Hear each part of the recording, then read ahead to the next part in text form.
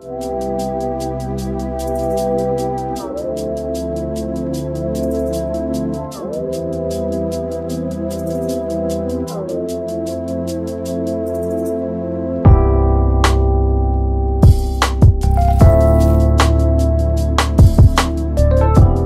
is the Dell U3818DW, and although it was released in the latter half of 2017, its features have yet been outdated, and with its size, it has become one of the standout monitors in the ultrawide community.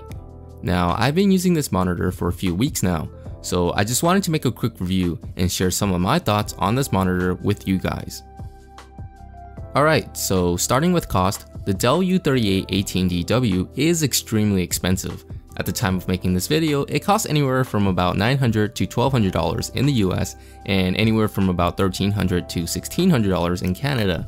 So yeah, this is definitely not a cheap monitor. As far as specs go, the display is a curved 37.5 inch 60Hz IPS panel with a 3840 by 1600 resolution, which is a similar PPI to a 27 inch 1440p monitor, so sharpness is definitely not an issue here. Its typical brightness is about 300 nits, which is plenty bright for most indoor situations, and it has a gray to gray response time of about 5 milliseconds or 8 milliseconds, depending on which mode you have it set to. If you put it in fast mode, you will get a 5 millisecond response time, and if you set it to normal mode, you will get an 8 millisecond response time. The display also has a contrast ratio of 1000 to 1 and has a 178 degree viewing angle, now, the panel covers 99% of the sRGB color gamut and 78% of the DCI-P3 color space, so it's definitely very color accurate, and it shows. The colors are calibrated quite nicely out of the box, and everything seems well balanced. And although you can tweak the colors yourself from the monitor's menu, I found that the factory calibrated settings worked best for me. The monitor also has built-in dual 9 watt speakers, which surprisingly sound pretty good, and can get decently loud with the volume cranked up.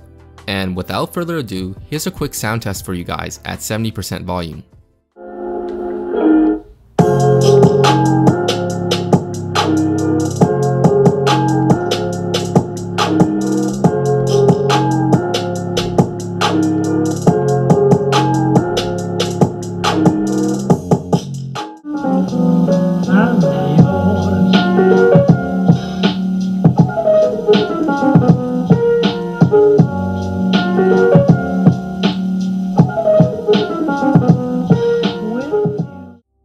So yeah, the audio sounds pretty good, but please keep in mind that the audio recording into my mic does not depict what it may sound like in real life, but it does give you a good idea of what to expect.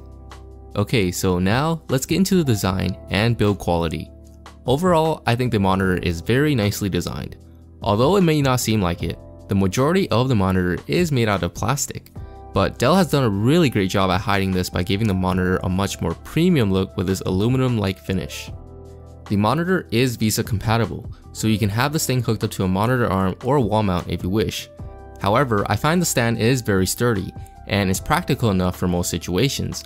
You're able to tilt the monitor from 5 degrees downwards to 21 degrees facing upwards, swivel it 30 degrees clockwise and counterclockwise, and you can also adjust the height of the stand to have the monitor sit up to 11.5 centimeters above the table, which is about 4.5 inches.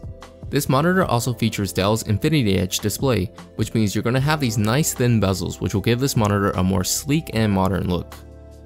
Dell has also thrown in comfort view with this display, and essentially this filters out blue light and this puts less strain on your eyes, which I thought was pretty handy since I spend a lot of time in front of my screen.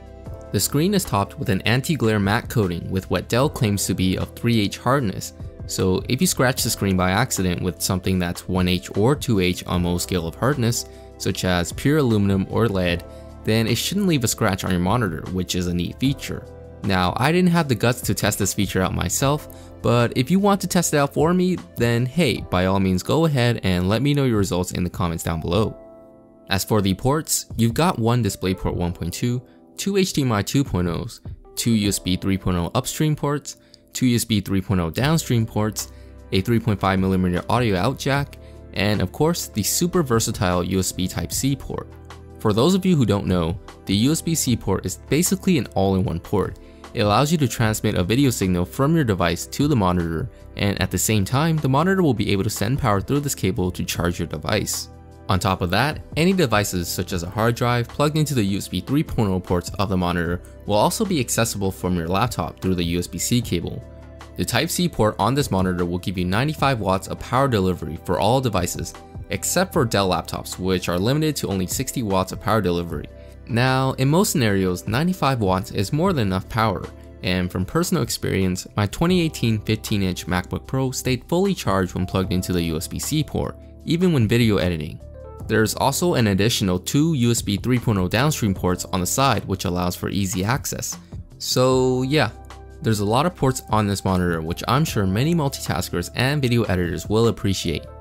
The U3818DW also has built-in picture-in-picture and picture-by-picture functionality with KVM support. This allows you to display the input of two computers on your screen simultaneously, and with the KVM switch, which is something you have to purchase separately, you can use a single mouse and keyboard for both of these computers. Again, just another feature that multitaskers will appreciate. Now, so far, my overall experience with the monitor has been great, but one big problem that I've discovered is that when you have the response time set to the 5 millisecond fast mode, this monitor demonstrates major banding and ghosting issues, which is kinda weird because having a faster gray to gray response time should diminish these issues, but in this case, it actually makes it worse. And unfortunately, I haven't found any real solution to this, but when I changed the response time back to the 8 millisecond normal mode, I was able to get rid of the ghosting and banding issues, so I would definitely recommend you set the response time to 8 milliseconds until Dell or someone finds a solution to this. Okay, so I've tried gaming with this thing, and as a casual gamer, I don't really have any complaints other than the fact that this monitor doesn't support FreeSync or G-Sync. But Dell never intended for this monitor to be a gaming monitor in the first place, so we can all forgive them for that. And as expected, the curvature and size of this thing really gives you that immersive gaming experience that you can't get with just a single flat screen monitor. So if you're a casual gamer like me, you'll definitely be pleased with the results. But if you're a little bit more on the competitive side, I'd steer away from this monitor and probably go with LG's 38-inch ultrawide as it has a higher refresh rate and supports FreeSync. Okay, so is the Dell U3818DW worth breaking your piggy bank for? Well, yes and no. It really depends on what your priorities are.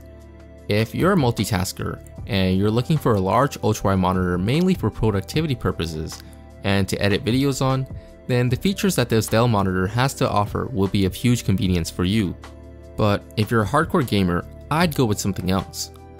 Overall, I found this monitor to be a joy to multitask with, edit videos on, and even casually game with.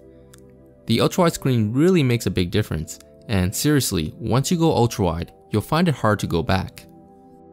Anyways guys, if you're interested in picking up this monitor, please consider supporting my channel by clicking on the Amazon links below. If you found this video helpful, please drop a like and hit that subscribe button for more content. As always, I hope you guys have a wonderful day and I'll see you in the next video.